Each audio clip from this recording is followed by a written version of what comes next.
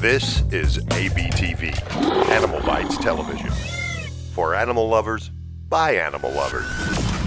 If you know me at all, you know that I love animals. The title of my show and the channel that I work for should have at least hinted at that. And I'd like to tell you that I love and admire all animals equally. I wish I could say that I don't carry any irrational fear towards a living thing. But sadly, there is one animal, and only one animal, that straight up gives me nightmares. Ladies and gentlemen, the chambered nautilus. Let's try some exposure therapy for me and learn a little bit more about these totally harmless aquatic soul-sucking hell demons. My name is Jason Miller, and you're watching 5 Weird Animal Facts. Number 1. They are living fossils. Some of the most ancient animals in our oceans, the subclass Nautiloidea, have existed for almost 500 million years. In that time, they've barely changed or evolved because why mess with perfection? Number 2. They have more tentacles than any other cephalopod. Roughly 90 to be not very exact. More than one credible source used the word 90-ish when referring to its tentacles. 90-ish. Cool bro. Each of these 90-ish tentacles can extend and retract and have an extremely strong grip, even though they don't have suction pads like other cephalopods. Two of these 90-ish tentacles are used as sensory tools to help it search for food, since it has very poor eyesight. It's those two tentacles right there.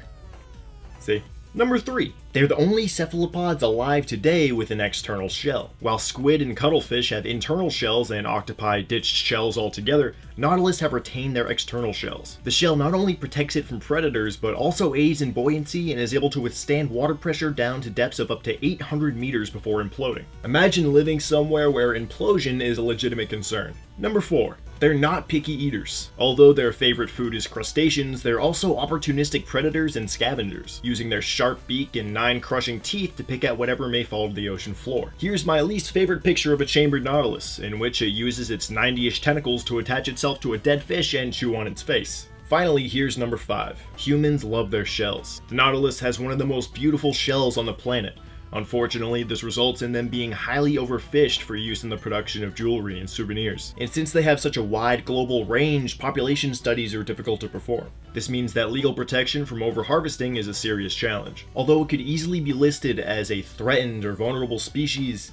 its status remains data deficient. One last thought. Even though chambered nautili make my skin want to leave the rest of my body, they're still important members of the ecosystem. And I'm guessing that if they didn't play an essential role in maintaining the health and balance of our oceans, then they wouldn't have existed for this long. Every animal on the planet, no matter how uncomfortable it makes you, still has a purpose. Remember that. Thanks for watching. Let me know in the comments section down below what weird animals you want to see in future episodes. Like and share this video and subscribe to Animal Bytes TV for more awesome animal things and stuff. Check out all my social media and also check out my new vlog channel, Jason Miller Vlogs. And until next time, my friends, my name is Jason Miller, and I'll see you next Monday on 5 Weird Animal Facts.